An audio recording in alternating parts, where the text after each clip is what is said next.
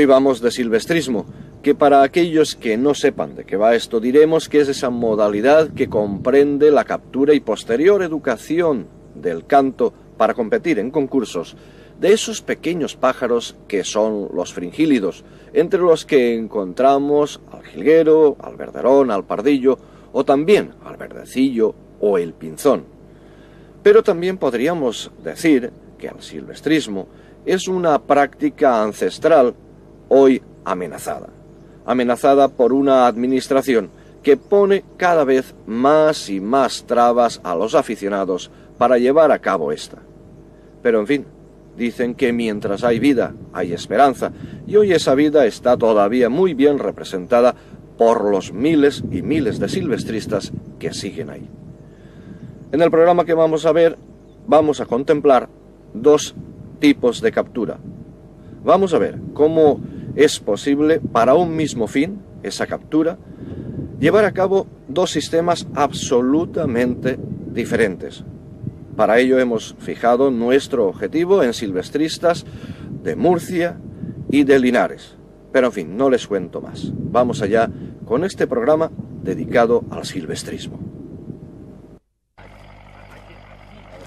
Si alguien había pensado que lo del silvestrismo es una modalidad más relajada, donde no hay que madrugar, etc., como ven, nada más lejos de la realidad. Al igual que ocurre con otras especies donde los buenos cazaderos son escasos, en este caso las zonas de captura también lo son, así que los silvestristas suelen madrugar muchísimo para ser los primeros en llegar, incluso los hay que pasan la noche entera en el lugar con el fin de asegurárselo. Vale, vale, vale. Los clavos. Los clavos, Santi, el ajao y los guantes. Ya sabes. Las formas de captura se resumen en dos, con red y con liga o lidia que muchos llaman, pero dentro de estos dos sistemas hay muchas variaciones. De hecho, en el caso de la red podemos destacar las del libro, la napolitana y la que suelen denominar bacalá, que quizás sea la menos utilizada de ellas. Para cualquier silvestrista acostumbrado a ello, el dispositivo resulta sencillo, pero visto desde el lado contrario es realmente complejo. Las que ahora se están colocando son unas redes que los propios aficionados denominan de bacalá. Es un sistema similar a las de libro con dos partes que cierran una sobre otra, pero que, como vamos a ir viendo, aprovechan mucho más el espacio cuando están abiertas. No hay que olvidar que en el dispositivo de captura tan importante como las redes son las plantas que se van a colocar dentro de ellas y si lo que se va a capturar son jilgueros, los cardos son el mejor gancho. Pero volviendo al tipo de red empleado, estas quedan completamente recogidas en su parte exterior, donde además, y como es lógico, uno de los lados está fijado al suelo.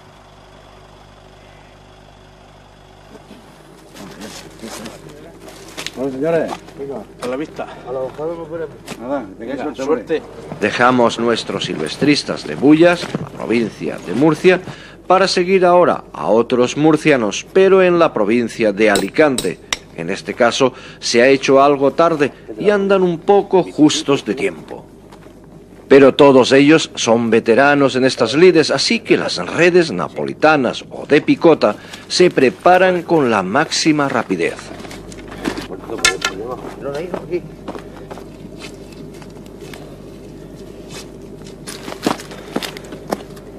Te cierra la tiradera. José, la tiradera, saca el pacuto y etcétera. También estas redes llevan cuatro palos y una tiradora como las del libro que igualmente se une a los extremos exteriores de los palos más cercanos a donde van a estar colocados los cazadores o silvestristas.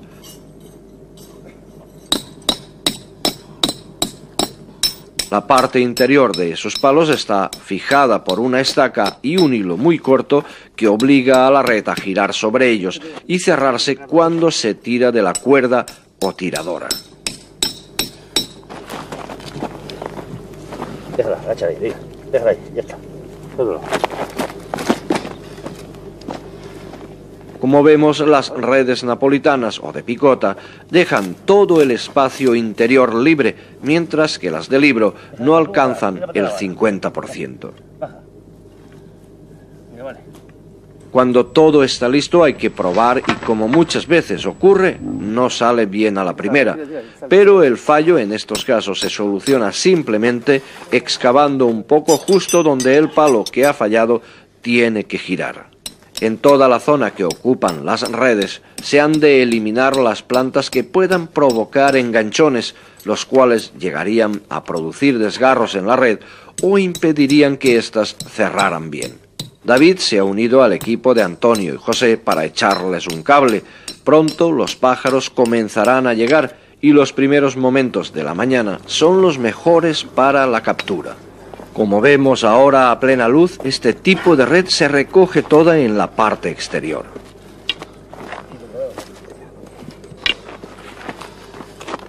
Pero el dispositivo solo tiene todavía lo más básico, las redes. Aún faltan los cimbeles que van en el interior y las plantas que han de imprimir mayor realismo a este pequeño espacio de terreno. No hay que olvidar que con anterioridad lo hemos limpiado de plantas y así no es como estaba, lo cual extrañarían los pájaros.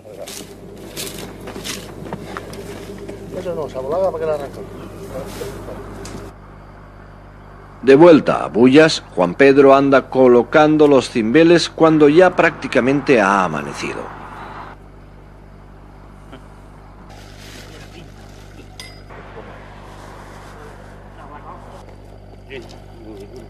Un poco de agua y semillas esparcidas por el suelo completan el dispositivo, una preparación que difiere y a veces mucho de un silvestrista a otro. Todo está listo ya, los cardos que hacen más atractivo el interior, los cimbeles, ahora solo queda esperar. David, Antonio y José también están ya casi listos.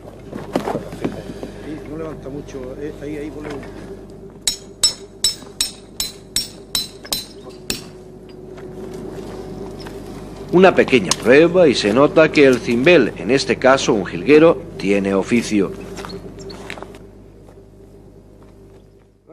También la otra pareja, Ignacio y Rafael, están ya casi preparados. David, que ya ha terminado en la otra parte, viene ahora aquí por si hace falta echar una mano.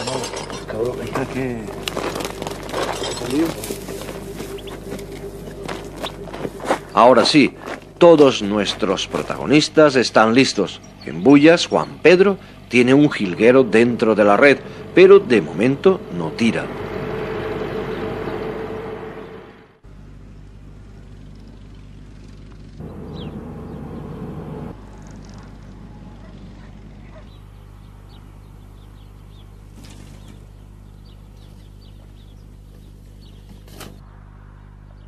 Ahora ya, el primer jilguero acaba de caer. Estamos en temporada de verano, periodo A de captura que suele denominarse en algunos lados y que comprende la época de los pájaros jóvenes. En este tiempo solo se pueden capturar ejemplares nacidos en el año.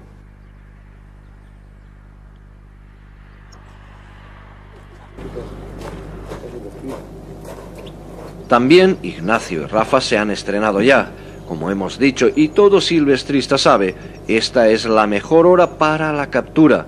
Los pájaros salen de pernoctar y vienen con hambre. Un trino adecuado de los reclamos y un toque maestro del cimbel pueden convencer al más receloso de los pájaros. Pero nadie ha dicho que sea fácil, todo lo contrario. Los jilgueros llegan, se posan y miran una y mil veces su entorno. Algo no les convence. La que ahora nos visita es una ardilla que debe andar en busca de piñones.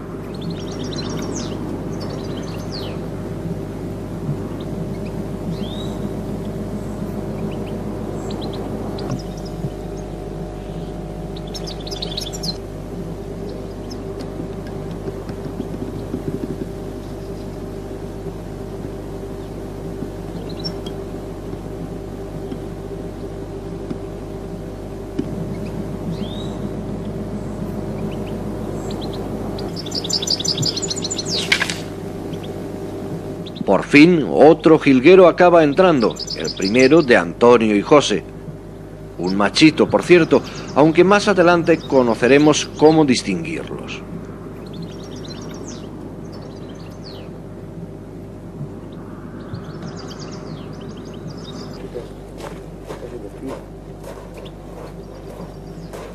En unos momentos todo queda como estaba. La tiradora se vuelve a tensar y dejar lista para un nuevo lance. En esta postura, David es el que tiene la tiradora en sus manos. Cuando son varios los que participan, se suelen repartir las labores y mientras uno se encarga de tirar, otro maneja el cimbel o cimbeles.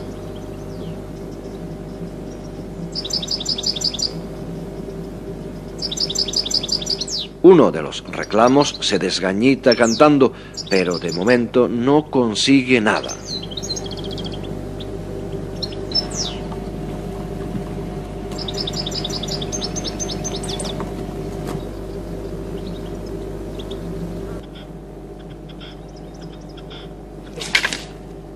Ahí está, otro más. Hemos cronometrado, por cierto, el tiempo que han tardado las redes en cerrarse y no ha llegado ni siquiera a medio segundo.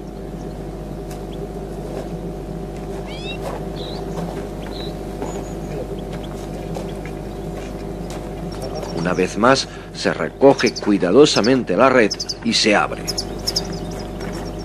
Esta zona de captura es un lugar de paso, de manera que no importa que haya plantas donde no las había, en este caso dentro de la red, porque lo que se trata es de convencer a los pájaros que llegan de que allí también hay comida. Uno acaba de entrar, pero nadie se ha dado cuenta. A veces suele pasar. Además, oculto tras las plantas, el jilguero no se ve desde donde están ellos. Cuando entra un pájaro de improviso y se mueve el cimbel inconscientemente, lo más fácil es que se vaya, pero al menos en esto ha habido suerte. El jilguero está únicamente preocupado en comer. Y claro, al final alguien se percata de que en el interior de las redes habían más jilgueros de la cuenta.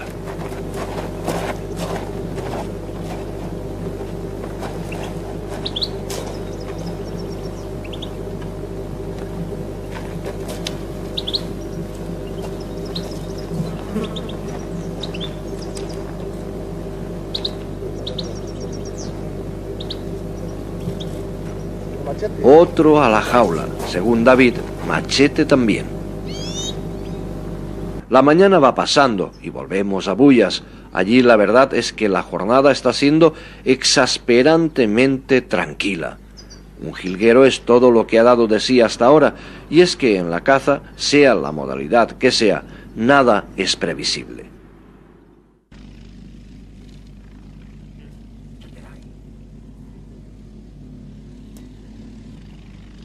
Sobre el número de cimbeles y plantones del interior de las redes o de cómo disponer los reclamos, podríamos encontrar mil versiones diferentes.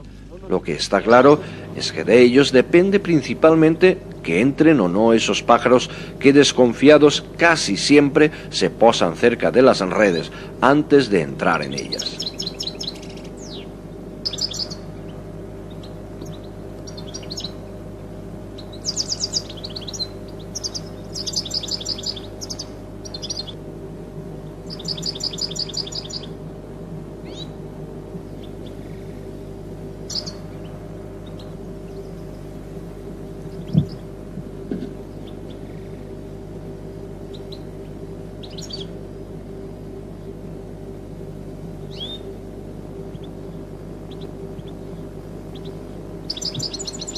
A veces la avaricia rompe el saco y de esto los silvestristas saben más que nadie.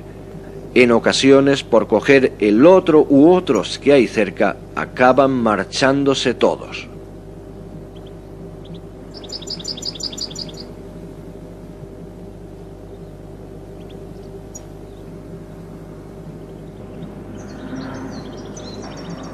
Los que sí han vuelto a capturar son Antonio y José,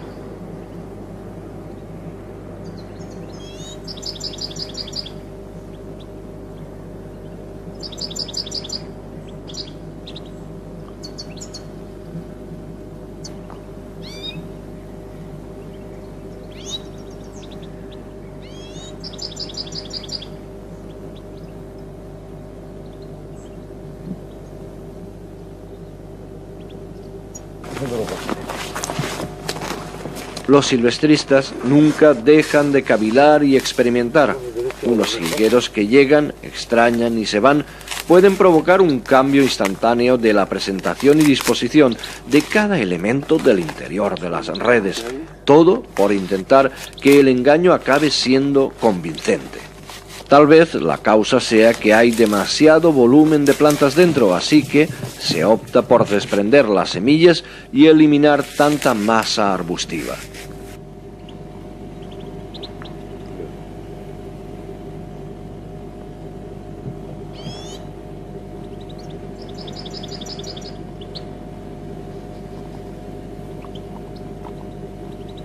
Otra vez ha vuelto a pasar, esperando a la segunda, adiós a las dos.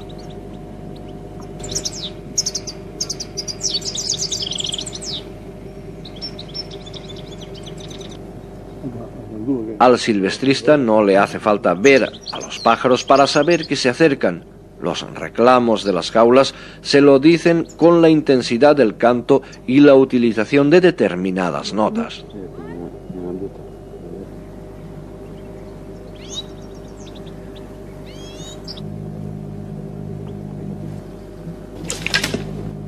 Esta sí, y también había dos esta vez, pero lo que prevaleció en esta ocasión fue aquello de más vale pájaro en mano que ciento volando. Otro machito, por el volumen de su pico se puede intuir, aunque a esta edad solo el tono de la parte superior de las alas habrá empezado a dar muestras de su sexo.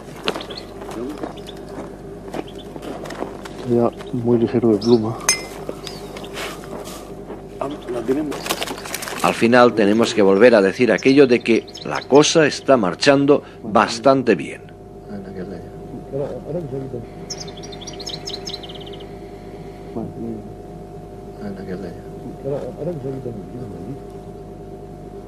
A pocos metros de las redes, uno de esos campos de golf, ahora tan de moda, al menos estos no convierten el paisaje en junglas de cemento, aunque inevitablemente una cosa lleva apareada a la otra. Es bastante probable que este lugar que hoy ocupan las redes dentro de no demasiado tiempo esté invadido por bungalows, apartamentos, etc. Tal vez entonces los detractores de esta modalidad piensen que en el fondo los silvestristas no eran tan malos. Pues sí, que la hora que es, tenemos que empezar a recoger, ¿sabes? A recoger porque van, van siete masillos, que para hoy tenemos bastante, ¿sabes? Y otro día, pues, ya cogeremos alguno más. Así acaba la jornada. Es momento de recoger y ver qué han hecho Félix y Robustiano, que se habían quedado en un aguadero. ¿Cómo ha ido la mañana? No, hemos pillado nueve. ¿Cuántas? ¿Nueve? Hemos soltado tres. Hemos soltado tres. Yo he cogido ocho. Y Antonio tú te cables y eso me, eso me Camino de vuelta ya sabemos lo que espera, que por reiterativo que resulte, una jornada está incompleta si al acabar no se celebra con una buena comida, aperitivo o tentempié y la clásica charla.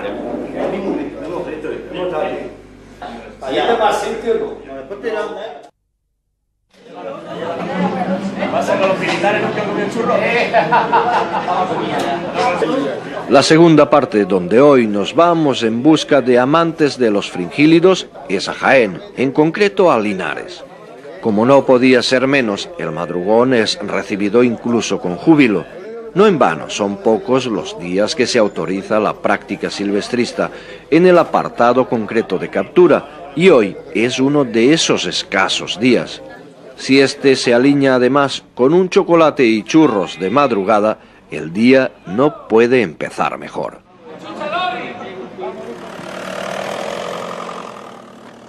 La más absoluta oscuridad lo invade todo todavía cuando nuestro equipo de protagonistas llega a la zona de captura.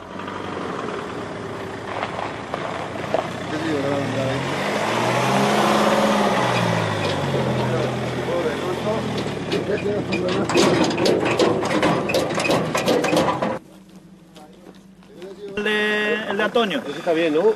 Sí, claro. Sí, ese está bien. Sí, entrando todavía detrás. El mío lo dejo aquí. Pese a ser silvestrismo y pese a ser captura, la jornada de hoy no se parece en nada a la captura en verano con redes. Hoy ese sistema de captura es la liga o liria, como aquí le dicen, y el periodo es el de invierno. Los pájaros están mudados ya y es época de pase. Pero vayamos por partes. Además de llevar a cabo la captura con liga, el lugar donde se van a colocar los espartos es en los pequeños árboles artificiales que estamos viendo. Bueno, se ha, hecho un pequeño lío porque hemos traído dos, dos, árboles juntos, hemos juntado las ramas de dos árboles y claro, al ser artificiales pues ahora no, no somos capaces de diferenciar una de otra. Habitualmente están numeradas, con lo cual es bastante más fácil hacer el trabajo que estamos haciendo ahora, pero vamos que es algo que no trae demasiada complicación. Ya probando sobre el terreno, ya se va conformando lo que, lo que va a ser el arbolillo y ya se le están quitando los nervios a Miguel porque ya sí va a funcionar. Ya. El árbol es un árbol totalmente artificial. Miguel, eso, eso es lo que Está hecho de, de hojas de plástico. Con ese pequeño rompecabezas que son los arbolillos ya formados, los silvestristas se dirigen ya a donde van a emplazarlos. Todavía apenas hay luz y es la de los coches la que nos ayuda a todos a ver dónde ponemos los pies. Con la ayuda de piedras se sostienen los primeros arbolillos. No es difícil mientras el viento no sople.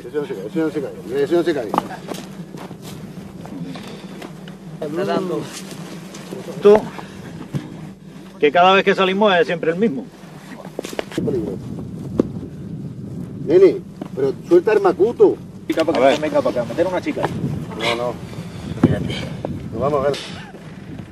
Ahora parece que se ha cogido eso un poquillo de sensatez. ¿no? Sí, está liria, la En el morral mío hay esparto y hay liria. Así que si quieren ir enredando este, vamos a ver el de Ramón cómo se monta. El árbol de Ramón lleva un sistema diferente de, de anclaje que es bastante más práctico que los otros.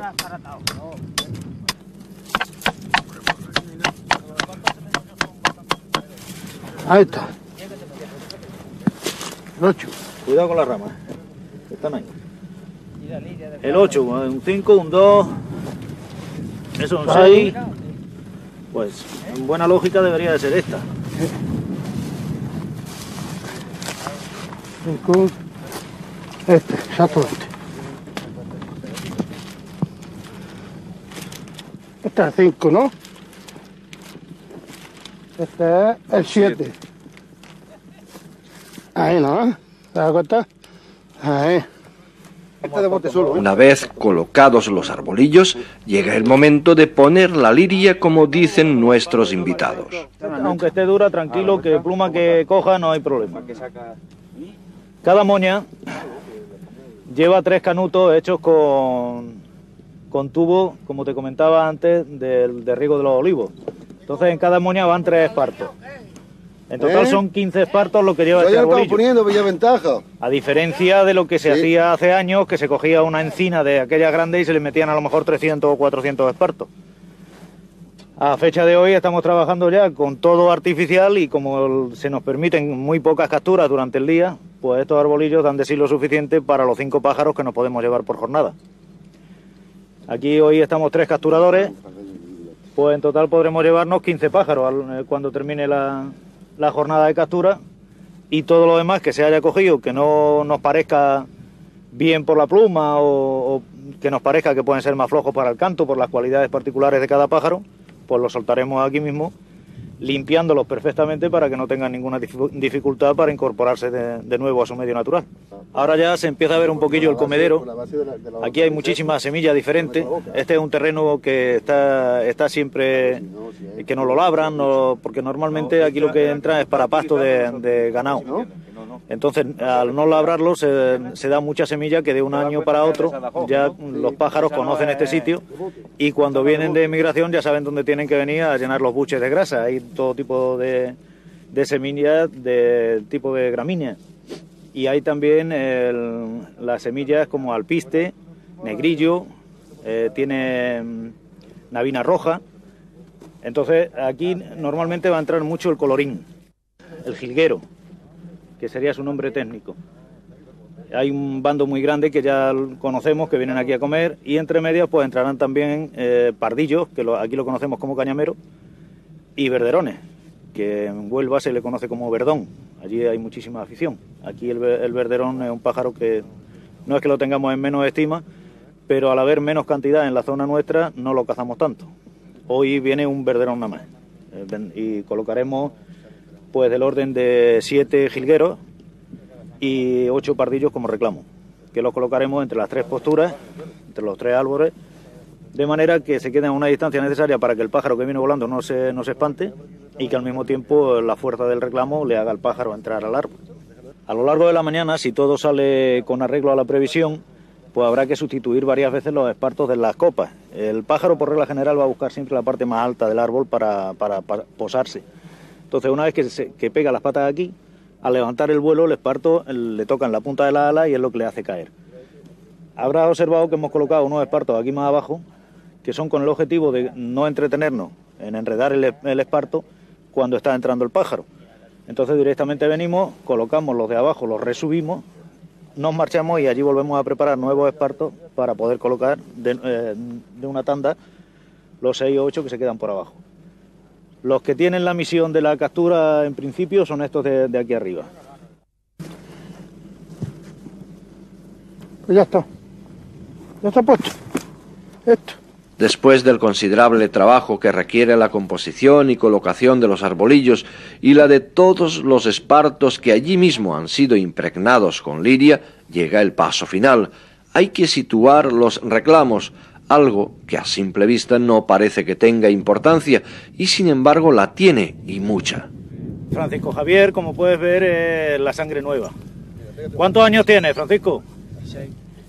Con 16 años empezó a salir con nosotros siendo un chavalín y poco a poco se ha ido aficionando hasta que ya tiene la edad legal para poder tener su propia autorización de captura.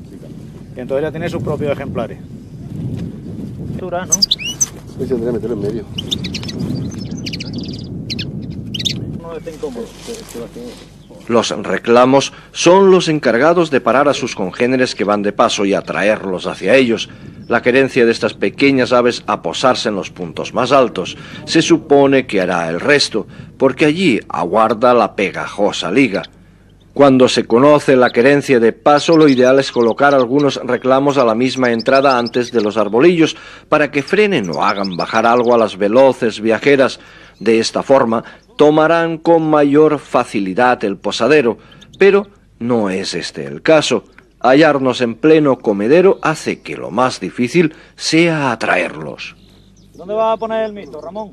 Aquí, ¿dónde ha dicho el Andrés? El pájaro que acaba de colocar Ramón es un mixto de pardillo, pardillo y canario. Es un pájaro muy apreciado en, la captura porque tiene el, el, canto del pardillo y la fuerza del canario.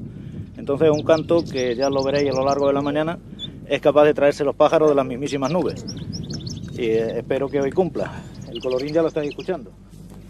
Es importante saber que a los pájaros no le damos nada que no sean eh, semillas. Los pájaros no se le da ningún tipo de tratamiento especial con el fin de mejorar el cante, ni la calidad, ni la fuerza. Solo a base de combinaciones de distintas semillas se van cuidando a lo largo del año, eh, poniéndoles para esta fecha unas semillas más fuertes, con más grasa y que hacen que el pájaro se, se suba en celo y entonces están en un periodo que es cuando más aprietan en el canto.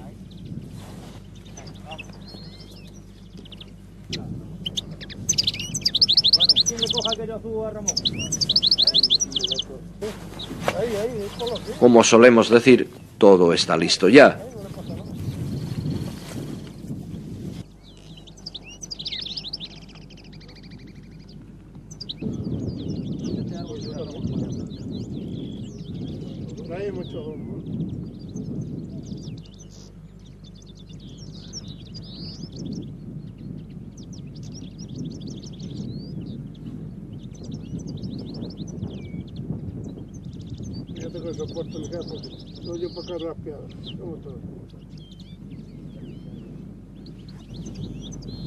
Ahí llegan los primeros.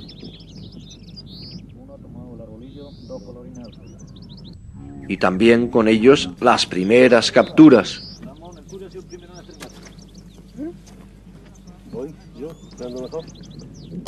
Antonio es el encargado de impregnar los espartos y desde luego no le falta maña.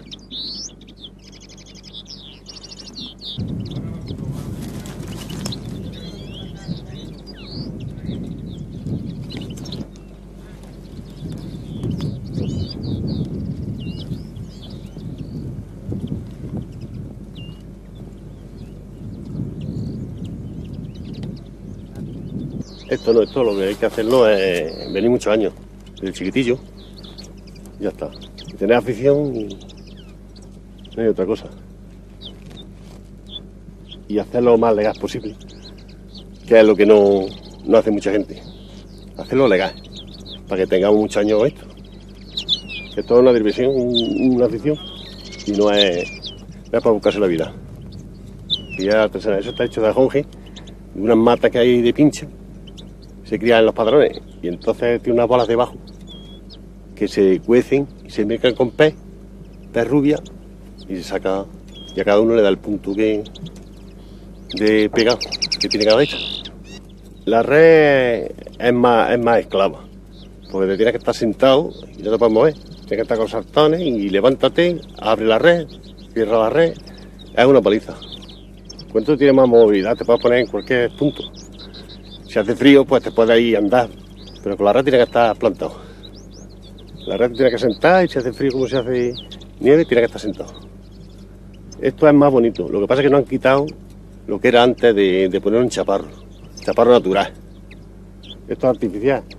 Bueno, a quien le guste. A mí no, a mí me gusta lo natural. Pero ahora nos queda más remedio, ¿no? ¿Qué remedio queda? Tendremos que apechugar si queremos seguir cogiendo pájaros. Encerrando, probando, soltando. Todo el año lo mismo.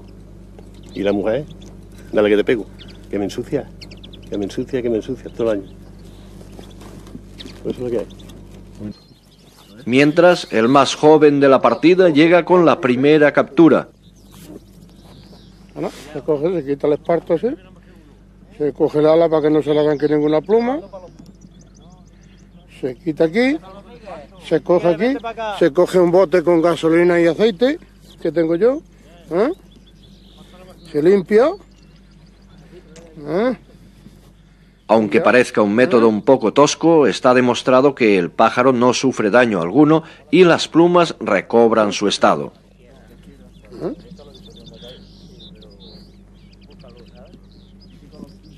Vale. Se encierra aquí. Y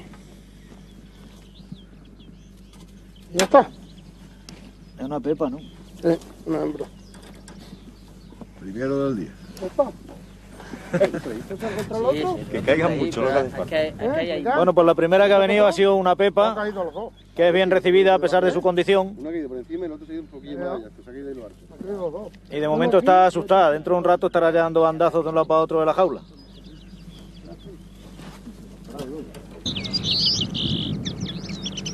Los reclamos espoleados por la cercanía de un gran número de jilgueros y pardillos, sobre todo de los primeros, cantan sin cesar. Sin embargo, la cantidad no facilita las cosas en este caso.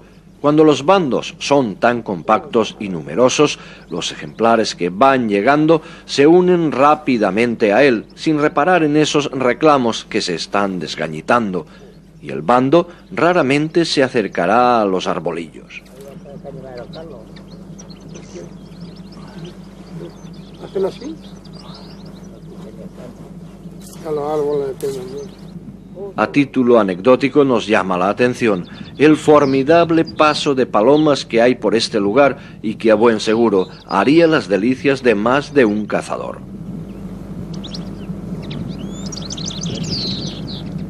De vez en cuando llega algún pájaro y se posa. Este lo hace con tanta tranquilidad que no se percata del peligro.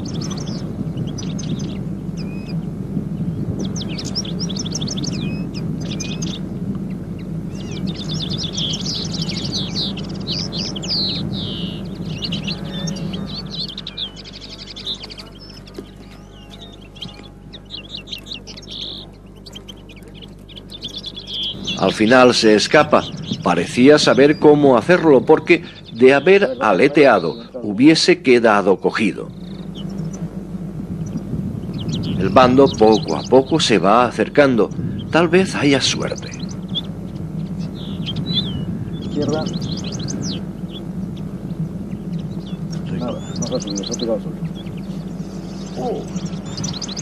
Lo dicho, es muy difícil que un bando entre de golpe. Sin embargo, cuando vuelan, algunos ejemplares se van disgregando y estos sí pueden ser presa fácil para buenos reclamos. A tu derecha. Un poquito más para adelante. Mientras el joven hace la recolecta, se reponen los espartos que se han ido llevando las capturas. Basta que una rama se quede sin liria para que todos los ejemplares vayan a posarse a ella. Venga. A ver, esparto para reponer aquí. Trátelo para acá que te lo limpio. Este sí va a la jaula. Porque la hembra la tenemos ahí para soltarla cuando termine la sesión de captura. Pero el machote lo llevaremos para casa.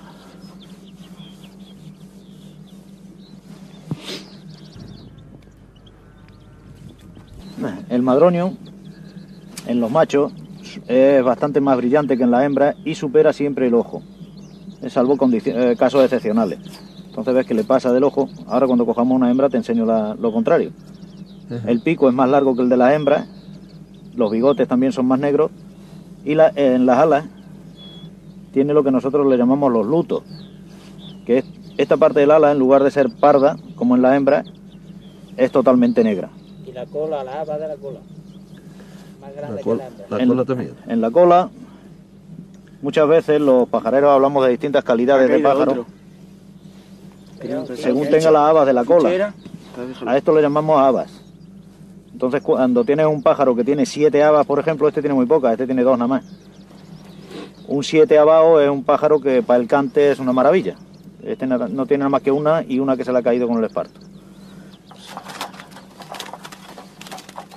Esta es una hembra que ha caído al mismo tiempo que este. Como puedes ver, el detalle del madroño, el madroño no le pasa del ojo. Estos blancos son más oscuros que en el macho. El macho tiene el, el blanco muy blanco. Sin embargo, la hembra no.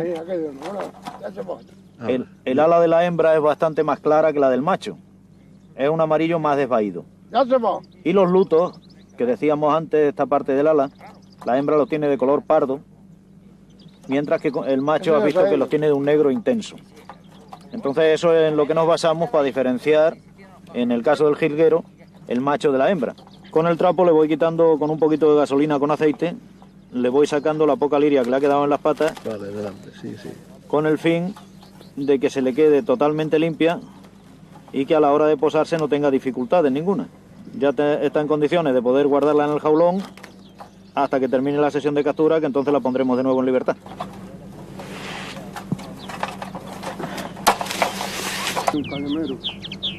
Con tres jilgueros ya capturados, la jornada prosigue. No faltan pájaros, el paso es constante y de vez en cuando alguno va cayendo. Venga, a ver qué me trae. Toma, machete. Antes te comentaba el tema de las habas. Este pájaro tiene, este tiene más habas que el otro. Entonces, según la, eh, la filosofía pajarera, pues este pájaro sería mejor para el canto que el que hemos visto antes. Eso lógicamente es una, una teoría que no tiene por qué ser religión, pero en fin, da resultado. Por regla general, cuando encierra a un pájaro que tiene bastante habas, sale, sale bueno. Mira la cara que tiene tan bonita. Muy bien. Y en el otro lado exactamente igual. Lo voy a coger un poquito mejor, que se le vea más clara la cabeza. ¿Ves? El blanco que decíamos antes, que la hembra lo tiene más parduzco, el blanco de detrás del ojo. Los machos lo tienen bastante más blanco. A estos en Francia le llaman pierrots y se puede pagar por un pierrot 30.000 pesetas tranquilamente. Eso es lo que hace que algunas veces se produzca contrabando de, de este tipo de pájaros que nosotros lo perseguimos, vamos. Y somos enemigos de ese tipo de prácticas. Además está prohibida la comercialización. Por fortuna, la mencionada práctica del tráfico de estas especies hoy está muy perseguida y pocos son los furtivos que se arriesgan a sanciones realmente notables.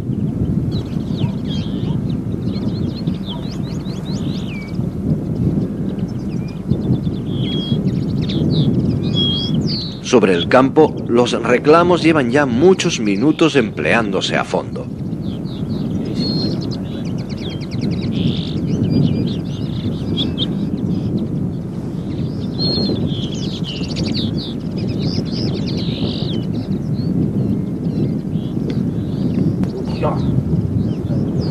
Vamos, ven. ¿Qué me dices? Que ha cambiado de parto. Puede ser chulo, pero tanto. Puede ser chulo, pero tanto.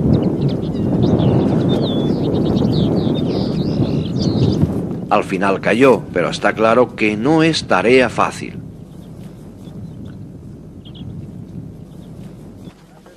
¿Una pepa? Venga, pues vamos a limpiarla. Joder, qué frío hace, macho. Tengo ya los dedos que no. Como ha cogido dos espartos diferentes, pues se ha llenado de liria mucho. Carlos, Dime. mira. Botecillo, que es más fácil. ¿Eh? Vale, vale, vale. ¿Te das cuenta? Ajá. Esto es más fácil que ese. Cada librillo tiene... Cada maestrillo tiene su librillo, efectivamente. bueno, esto es el último ejemplar que hemos capturado, que es un ejemplar hembra de pardillo. La diferenciamos de- del macho porque tiene el pecho a rayas. Veis que, que son, son manchas rayadas. El macho tiene la- esas manchas en forma de corazones.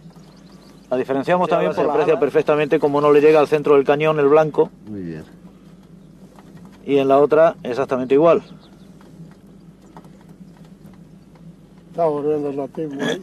El ejemplar, a pesar de que ha ha cogido dos espartos de liria, una vez que lo hemos limpiado ya con gasolina mezclada con aceite, como podrás comprobar no tiene ningún resto de liria y está en condiciones ya para ser liberado.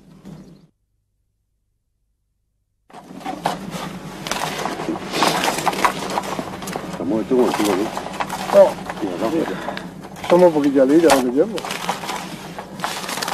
Se ve, de la lata, ahí está. El bando compacto se levanta a la menor alarma.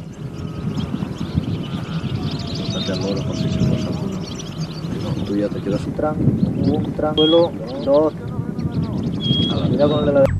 Y esta vez hay suerte. Al menos dos pardillos acaban cayendo. Repón también aquí a la izquierda, Antonio.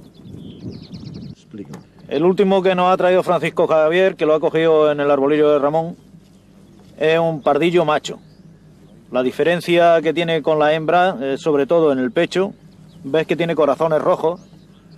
Esa ya es in- indiscutible. Esos corazones rojos que le marcan el pecho ya lo diferencian perfectamente de una hembra. Ya lo hemos limpiado, no tiene ya restos de liria, entonces podemos comprobar que en la, en las alas los blancos son mucho más amplios que en el ala de la hembra.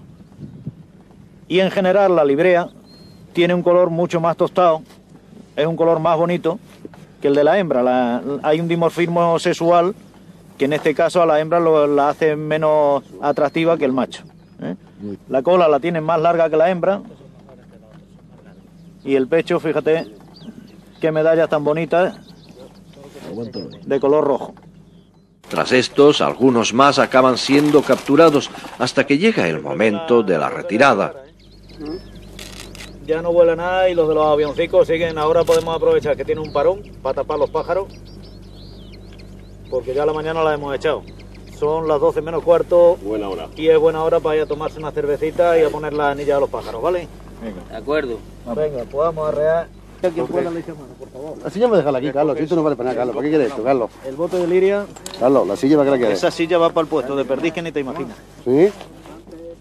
Oye, que yo no estoy vámonos.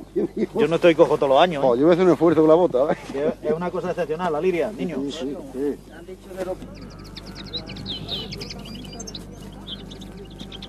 ¿Qué kilo de lía te están tirando? Sí, se reutiliza la, la liga, el esparto no, porque el esparto ya se queda un poco impregnado y luego es muy laborioso de, de enredar otra vez. Entonces esto se tiene, se, se limpian y se mete en la lata para reutilizarlo de nuevo. Porque si no, cada día tendría que utilizar una lata nueva.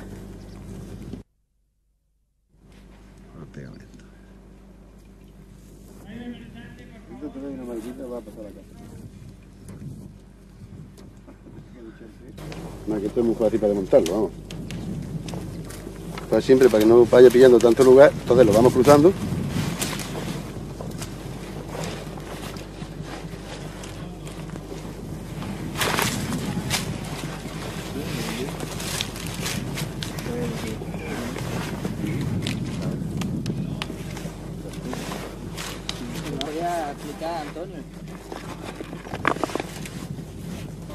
Pues ya llevo unos poquillos años. Unos poquillos llevo. Yo me estaba ya gata, estaba ya liado con esto. Hombre, fácil, fácil para que empieza no. Para que empieza no, eso hay que verlo y entonces una vez que va viendo el montaje, sí, ya cualquiera lo hace. Pero que hay que empezar con la base principal que es esto. Caerlo del pie, que no lleva nada, y empezar con retama y montar palo y dándole las caídas para que el árbol se quede formado. Como no podía ser menos, el final es el de siempre. Esta vez acabamos en la sede de la misma sociedad, dotada de un pequeño bar, el cual no nos duelen prendas a la hora de recomendarlo por su extraordinaria relación calidad-precio. El local no deja lugar a dudas sobre su faceta como refugio de cazadores y pescadores.